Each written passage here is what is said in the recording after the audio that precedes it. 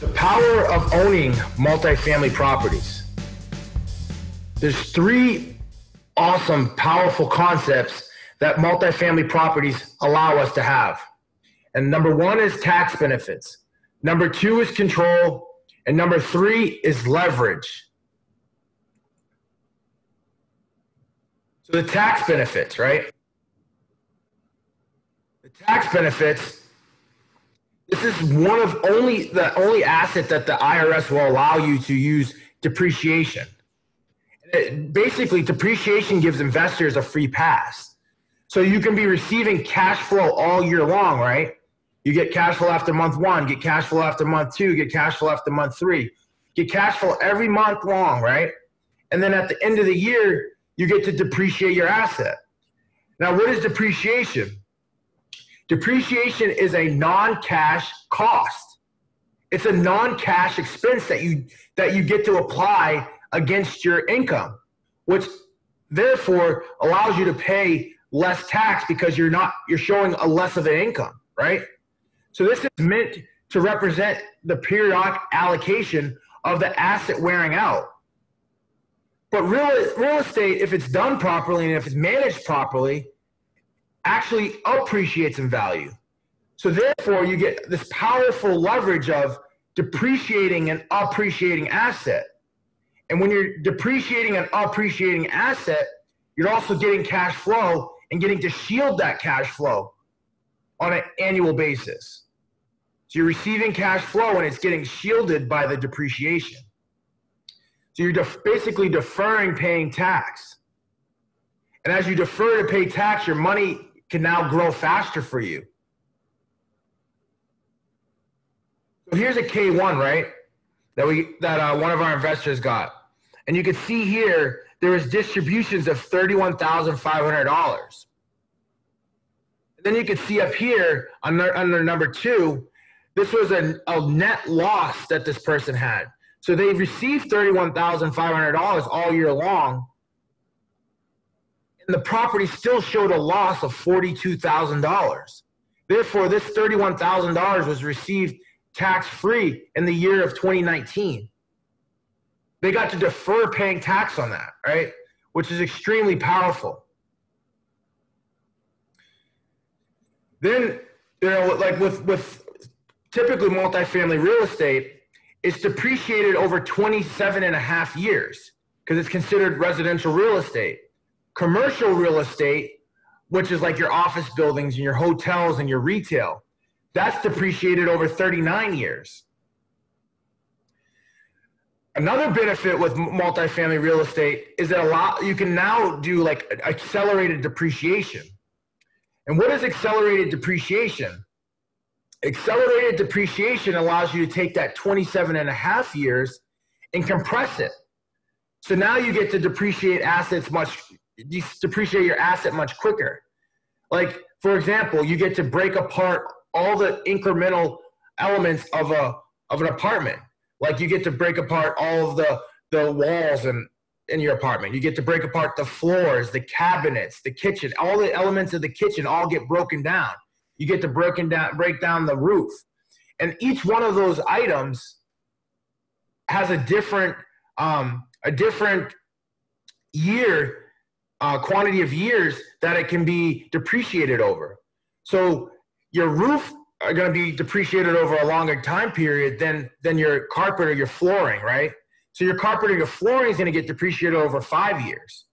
So all of a sudden, you took that 27 and a half years and you compressed that to five years. Now you're getting a bigger depreciation early in the investment while you're receiving cash flow, shielding your income. And then costs within a property can also be segregated between real property and personal property.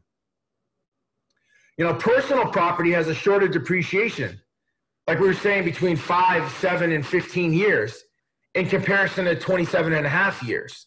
Right? So you're getting to compress those time frames in the depreciation, getting to shield more of your income. Brian, is there anything else you want to add on this? So it's like like I think of it as uh, okay, so say you had like a, a job, right, and you, you, worked a full year, right, and you got your your income. um, you, you got your monthly paychecks, right? This is almost like you've got a negative offset to that. So you're not paying any income taxes at the end of the year. In fact, you're paying zero taxes. And just think about how much faster your money would grow if you're paying no taxes on your income. You can just take all that extra profit and continue compounding it. That's kind of the idea here is you're, you're taking money in, but you're not paying any tax on that money. And it can just compound that much faster. Right. Well, if you reinvest it, right, and then you just compound it, and all of a sudden you got this huge ball of, of capital that's moving forward for you because you didn't have to pay half of it in taxes.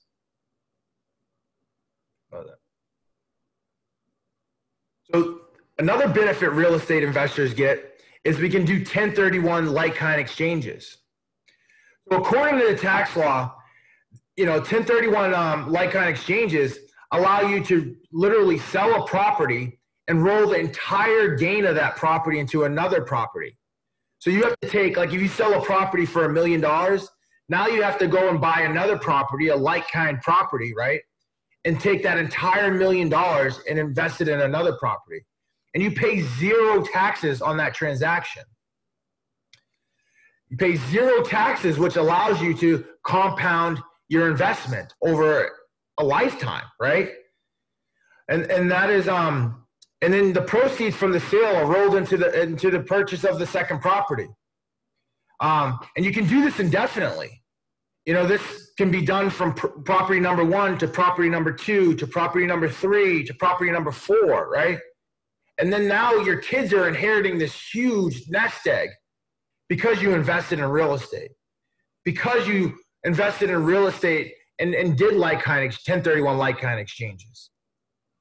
I love 1031 exchanges. Imagine you bought this property up top here and you know you got it at a good price. You renovated it. You, you grew the NOI and you know 5 years later you came out with with with a value of double what you initially you know put in. Now you're selling this and, and doing a 1031 exchange. You're paying zero taxes on that that massive windfall that's coming in when you sell the property, and now you can take that and roll it into a much bigger property.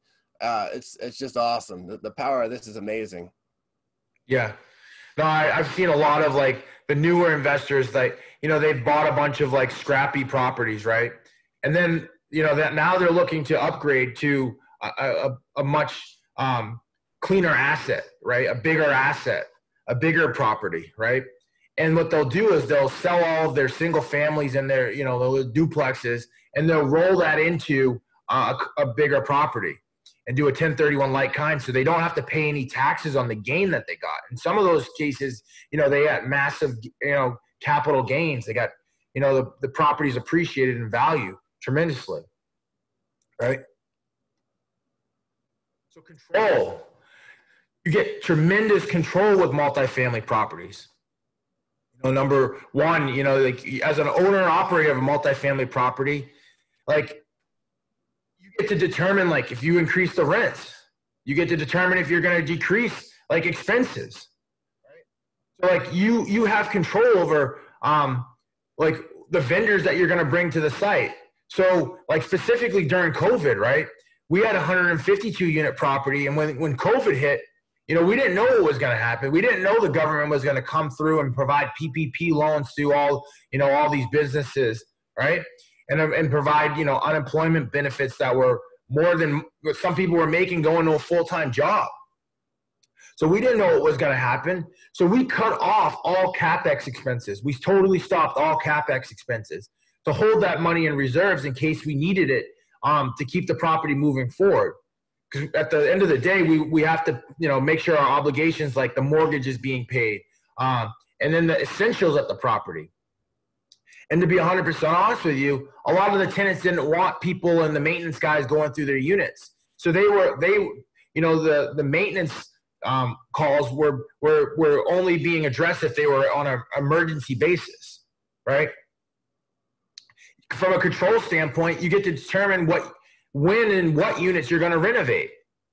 Um, you know, you get the, the freedom to be innovative. Like you can change things. You can be, this is where you get to be creative, right? You get to, um, you get to, you know, convert a, um, an old, an old, um, an old tennis court to a, a, an amazing playground for, for, for the kids in the community, right?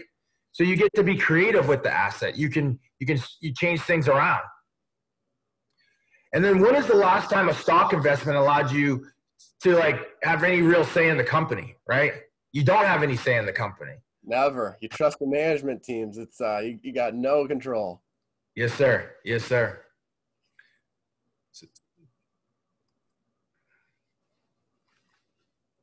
This is the leverage of non-recourse loans.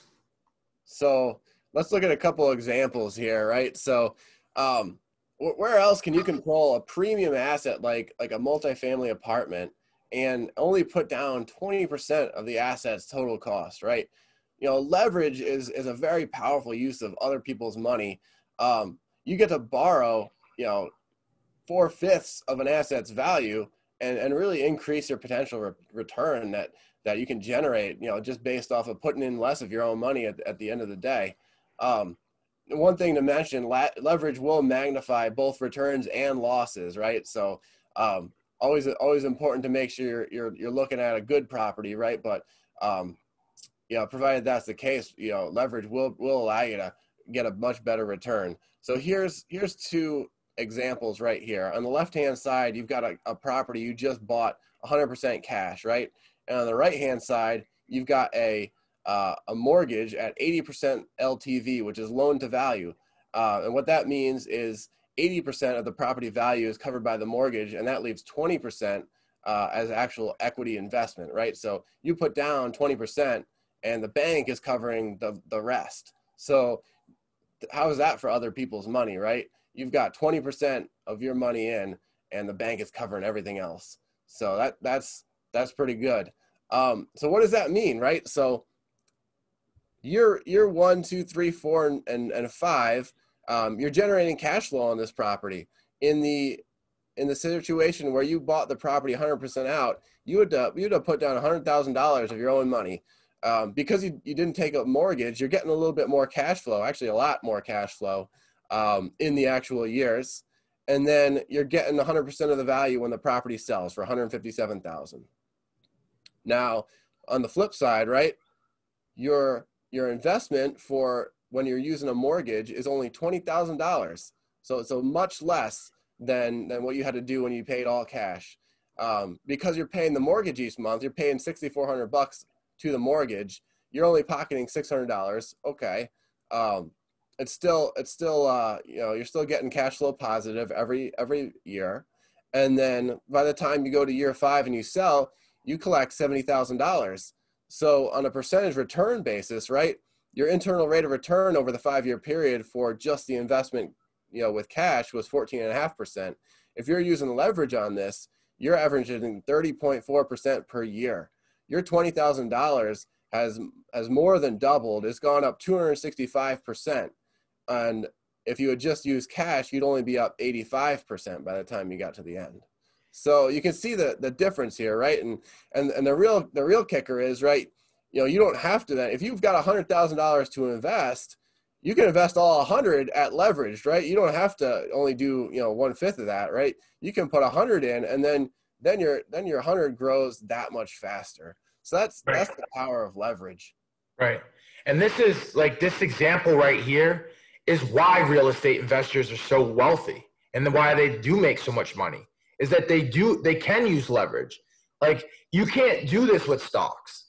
Like you can do it with stocks on a on a very small basis. Like they'll you know the the brokerage houses allow you to you know you know maybe get like a three to one ratio, right? But with with real estate, you're getting a a, a two to ten ratio. Like you you get to leverage up way more with real estate, right? Like, look at that. Like, if you bought one stock, right, without any leverage, which most people can't even get access to leverage, if you bought one stock, that's this is that's like the hundred thousand dollar investment on the left, right? Whereas with real estate, you can use a mortgage and debt, right, to magnify your returns. So you put twenty thousand dollars down in the beginning, and at the end you made seventy thousand. That's a two hundred sixty-five percent return. Whereas uh, on the other side, you, you put a hundred thousand down, right?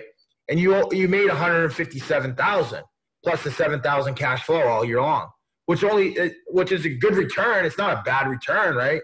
But it's it, at the end of the day, in comparison to the the the one where you use debt, I mean, 85% return in comparison to a 265% return.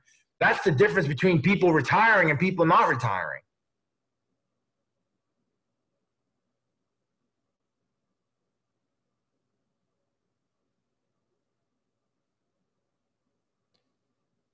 And then non-recourse loans, right? So um, we like using leverage, but you know what what happens in a worst case scenario right? So so what non-recourse really means is that the loan is actually secured by the collateral right?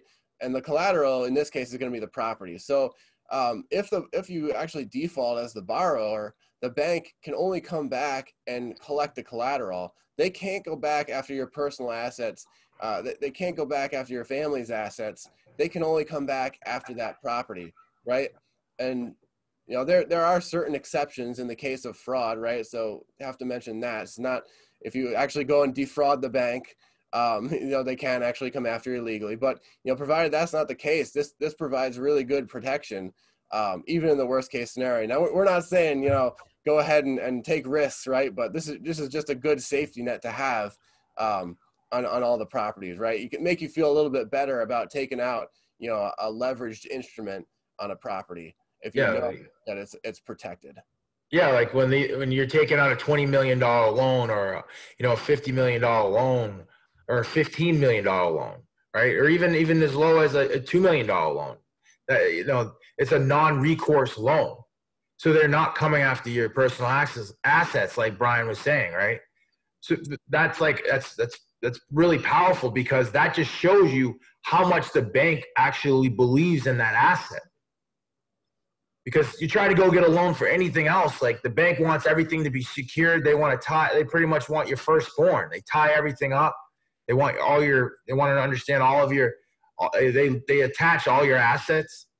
This is really powerful and that's something we'll get into later on guys. I mean when you guys are going to the banks to get funding the banks are having their own teams run the underwriting on this property just like you are. So if they can't come to you know the, the same the same solution that you do if they don't think this is a good deal they're not going to lend you money. The fact that they're going to lend you money on this deal means that they believe in this deal just as much as you do. And they're willing to do it as a non-recourse loan because they know they can always come back and collect that property at the end of the day if, if things go south and they like the property so right uh, exactly. just confidence exactly so the combination of those three powerful steps the tax benefits, control, and leverage is used to maximize the investment results to secure your freedom and your future.